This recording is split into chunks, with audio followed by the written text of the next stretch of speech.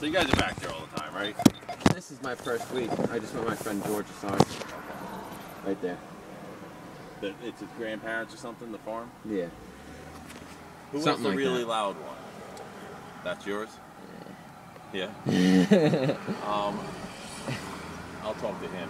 I don't know, where did they leave off with him? I know last week, I know the police spoke to him or whatever. I have no clue. I mean, Okay. this is my first time. Just sit tight. Let me talk to him. Yeah, no what problem. it is is just so you know, there is a town code. That first of all, there's a noise ordinance that everyone's Okay. talking about, and there's also something specifically written for ATVs right. that if you're making excessive noise and it's disturbing the neighbors, there's like See, I 10 com- never- there's ten complaints in the past week. You guys end up getting tickets. Yeah. So, see, I never knew about I'm just that. saying um, it's know. it's the end, so you have to stop. All right. So no have to- more. You can't do it there. All right. It's done. I'll right. tell. I'll explain. I mean, I'm going to lunch it- now, even- so without even looking back. further into it, that if it's whatever his grandparents really own the property or whatever, it still doesn't matter because Yeah. it's making too much noise with too many houses around.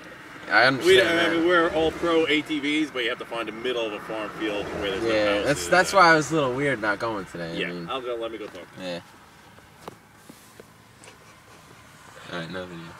Video behind us. yeah, John.